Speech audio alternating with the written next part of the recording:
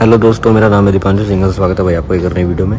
तो आज हम फिर से भाई आ चुके हैं नेक्सा में, जो डी मोटर्स वाला नेक्सा मेरे अलावा तो पहले मैं आपको काफ़ी गाड़ी की वीडियो दिखा चुका हूँ। तो ऐसे ही मैं आपको और गाड़ी की वीडियो तो आप दिखाऊँगा कि जैसे आपको दिख रहा होगा ग्रैंड विटार हमारे सामने खड़ी है। और ये इसका ना सी वाला वेरियंट है, जैसे आपको दिख रहा होगा यहाँ भी।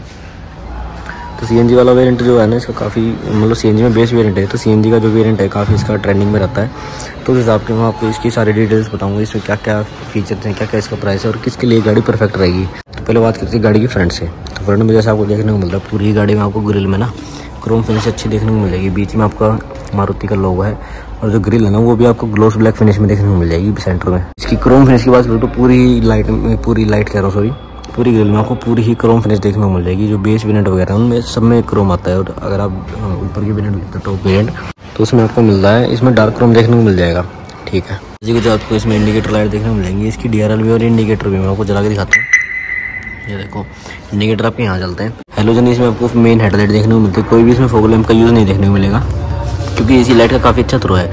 इसमें आप कंपनी के थ्रू अगर आपको एलईडी चाहिए तो आप एलईडी भी लगवा सकते हो, बाहर से भी लगवा सकते हो, ये काफ़ी अच्छी बात है। नीचे आपको मैट में सिल्वर फिनिश देखने को मिल जाती है। और जो इसकी मैट ब्लैक प्लेटिंग है ना, वो पूरी गाड़ी में कंटिन्यू होती है। आपको दिख रही होगी यहाँ पर पूरी ही गाड़ी में कंटिन्यू होती है। तो हम बात करते हैं इसकी साइड से। तो साइड से मैं आपको एक बार पहले, अगर इसके टायर साइज़ की बात करूँ तो टायर साइज़ में आपको देखने को मिल जाएगा दो सौ पंद्रह, साठ और सत्रह।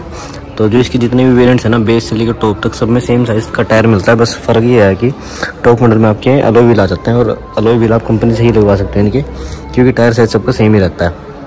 तो भाई काफ़ी अच्छी बात है। ऑल अराउंड आपको पूरी गाड़ी में सेम ही टायर साइज़ देखने को मिलता है। इसमें आपको एक बेस से ऊपर वेरियंट है, क्योंकि डेल्टा वेरियंट है। मैं नाम बताता हूँ delta C N G variant इसका। जो सी एन जी का बेस वेरियंट आता ही है, वैसे अगर आप बिना सी एन जी लेते हो तो बेस से एक ऊपर वाला वेरियंट है। लेकिन जो सी एन जी है, वो सिर्फ़ डेल्टा वेरियंट से शुरू होती है। तो साइड में इसमें आपको रिक्वेस्ट सेंसर भी देखने को मिल जाएगा। आप अंदर बाहर जाने के लिए रिक्वेस्ट सेंसर का यूज़ भी कर सकते हो। और ये दोनों साइड आपको मिलेगा ड्राइवर और को ड्राइवर दोनों डोर पे। और भी आपको यहाँ पे देखने को मिल जाते हैं। और ये ऑटो फोल्ड नहीं है, आप अंदर से वैसे फोल्ड कर सकते हो ऑटो फोल्ड नहीं है। पर इसमें आपको इंडिकेटर आपको देखने को मिल जाएगा, ये कुछ है।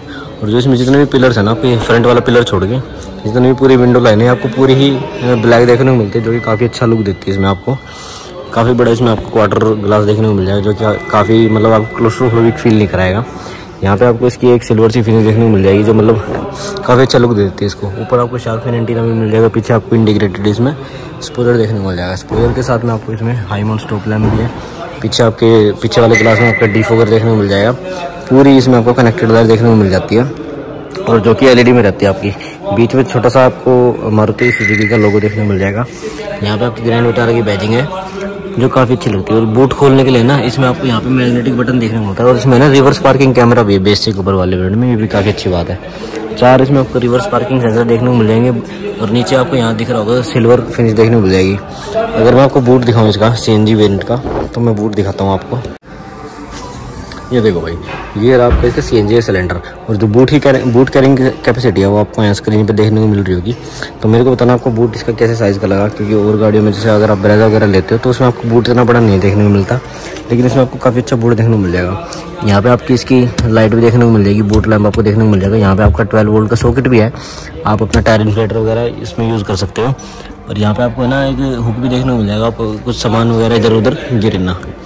ये कुछ थी भाई, इसकी बात बाहर से। तो चलते हैं गाड़ी के अंदर। अंदर जाने से पहले अगर मैं आपको की की बात करूँ तो की में आपको दो ही फीचर देखने को मिलते हैं, और की है ना, इसकी दोनों रिमोट वाले देखने को मिलते हैं। तो दो दो फीचर्स हैं, वो आपको लॉक और अनलॉक के फीचर देखने को मिलेंगे। तो चलते भाई गाड़ी के अंदर, और आपको ना रिक्वेस्ट सेंसर भी देखने को मिलता है इससे भी आप गाड़ी के अंदर जा सकते हो।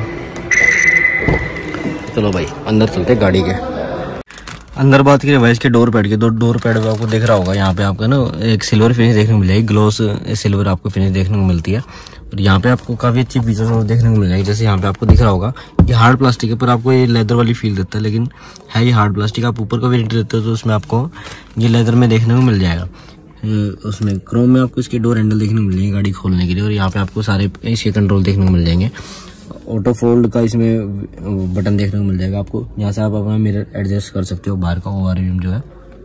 यहाँ पे बात करें तो इसके चाइल्ड लॉक अनलॉक अनलॉक के फीचर और जो ड्राइवर साइड विंडो है, वो आपको ऑटो अप और ऑटो डाउन देखने को मिल जाएगी, काफ़ी अच्छी बात है। यहाँ पे नीचे आपको ब्लैक कलर का फैब्रिक फिनिश देखने को मिल जाती है। नीचे बात करें तो बोटल होल्डर है, आपको यहाँ मैगजीन होल्डर देखने को मिल जाएगा। स्पीकर इससे काफ़ी अच्छे, अभी हमने थोड़ी देर पहले गाने चला के देखे थे।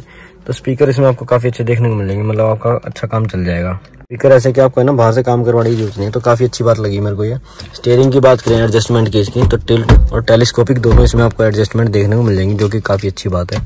यहाँ बात करें तो इसका इंजन स्टार्ट स्टॉप बटन आपको देखने को मिल जाएगा, जो कि बेस वेरियंट में मिलता है, ये तो वैसे भी डेल्टा वेरियंट है तो ये भी काफ़ी अच्छी बात है। और जो और गाड़ी में यहाँ पे ट्रैक्शन वगैरह के बटन आते हैं ना, वो यहाँ पे ना देखें, इसके यहाँ दे रखे हैं, जैसे दिख रहा होगा आपको ट्रैक्शन का बटन यहाँ पे सीएनजी आप स्विच कर सकते हो। तो कि काफ़ी अच्छी मतलब सीएनजी में ना एक तो मारुति गाड़ी है सबसे ज़्यादा कामयाब मैं मानता हूँ, क्योंकि सीएनजी में मारुति से ऊपर कुछ नहीं अभी।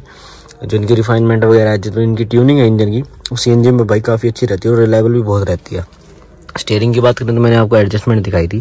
टेलीफोन के कंट्रोल्स आपके यहाँ पे हैं और मीडिया से रिलेटेड जो कंट्रोल आपको यहाँ देखने को मिल जाएँगे। मूड वगैरह आप यहाँ से चेंज कर सकते हो, आप फ्रंट टू बैक कर सकते हो और वॉल्यूम अप डाउन कर सकते हो। यहाँ पे आपको क्रूज कंट्रोल के बटन देखने को मिलेगा। जी हाँ दोस्तों, जैसा कि आपको दिख दिख रहा है कि बेस वेरियंट है सीएनजी का तो इसमें भी आपको क्रूज कंट्रोल का फीचर देखने को मिल जाएगा, जो कि काफ़ी अच्छी बात है। यहाँ पे जैसे आपको बीच में एक छोटी स्क्रीन दिख रही होगी अभी, ये मैं आपको दिखाता हूँ इसके फीचर जैसे अभी गेट खुला है तो ये खुला दिखा रहा है, अभी बंद कर देते हैं। तो गेट बंद हो गया तो ये हो गया।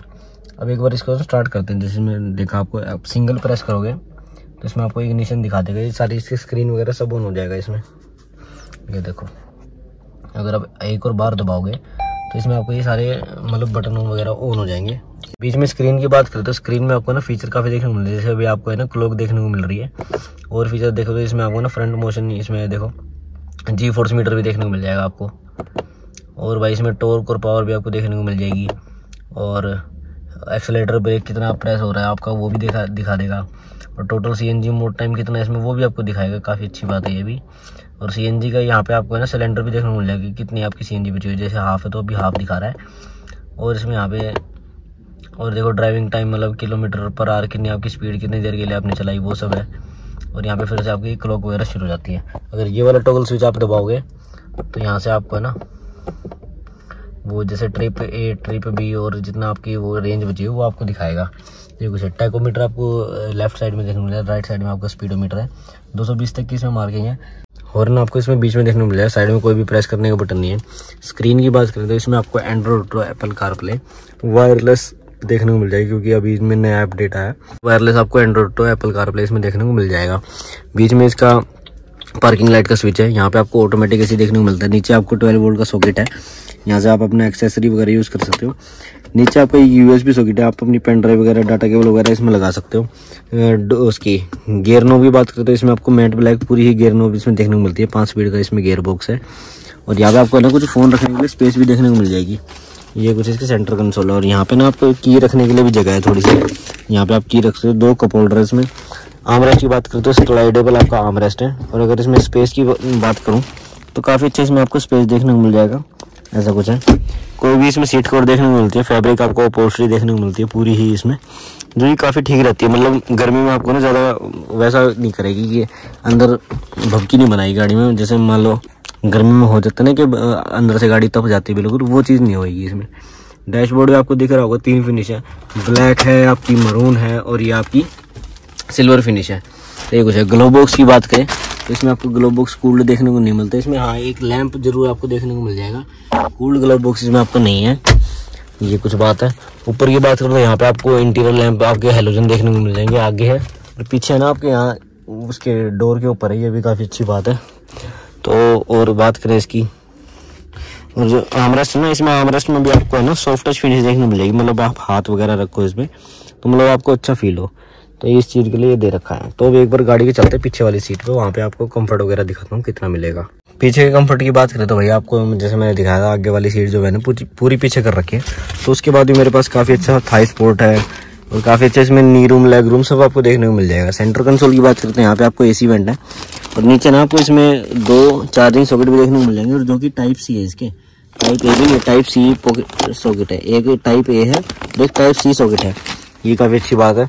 बढ़िया, इसमें आपको सीट्स देखने को मिल जाएँगे और इसमें एक चीज़ अच्छी है, इसमें ना आपको सिक्सटी फोर्टी के साथ सिक्सटी फोर्टी सीट के साथ आपको इसमें आमरेस्ट भी देखने को मिल जाएगी काफ़ी अच्छी बात है ये भी कि आपको बाहर से कुछ एक्स्ट्रा करवाने की ज़रूरत नहीं है। बाहर से आपको क्या है, एक बस दो ही चीज़ करवानी पड़ेंगी मेरे हिसाब से। एक तो जो इसमें अलोए है अलोए की कमी है, वो अभी आप कंपनी से लगवा सकते हो। और जो इसमें सीट कवर्स है, वो भी आप कंपनी से लगवा सकते हो, बाहर से भी लगवा सकते हो, वो आपकी प्रेफरेंस है कंपनी से आपको गारंटी वारंटी अच्छी मिल जाती है। आइसोफिक्स स्टाइल सीट माउंट इसमें आपको देखने को मिलेंगे। तीनों ही थ्री पॉइंटर सीट बेल्ट इसमें आपको देखने को मिलती है। जैसे आपको दिख रहा होगा यहाँ पे भी, इसका वो सीट बेल्ट का। ग्रे बैंडल की बात करूँ, यहाँ पे इसका ग्रे बैंडल है।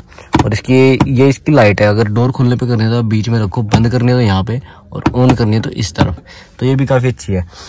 और जो इसकी सीट बेल्ट है, वो हाइट एडजस्टेबल आपको इसमें सीट बेल्ट देखने को मिलेगी। ऐसे पकड़ के आप इसको ऊपर नीचे कर सकते हो। तो ये कुछ था।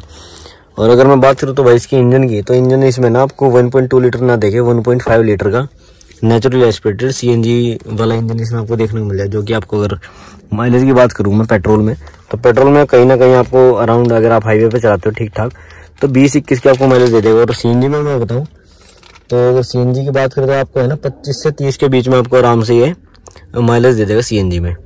तो ये था भाई इसकी वीडियो में। अब बाहर चलते हैं बाहर। की डिटेल्स की बात करते हैं कि इसके, एक शोरूम प्राइस कितना है इसका? तो ये कुछ है इसकी गाड़ी की वीडियो में, अगर इसके प्राइस की बात करें तो प्राइस इसमें आपको है ना, एक शोरूम में बता देता हूँ, तेरह लाख पंद्रह हज़ार रुपये इसका एक शोरूम आपको देखने को मिल जाएगा। जो इसका ऑन रोड है, वो आप अपना अपनी सिटी के हिसाब से मेरे को कमेंट्स में बता सकते हो। तो वीडियो बताना आपको कैसी लगी, गाड़ी कैसी लगी।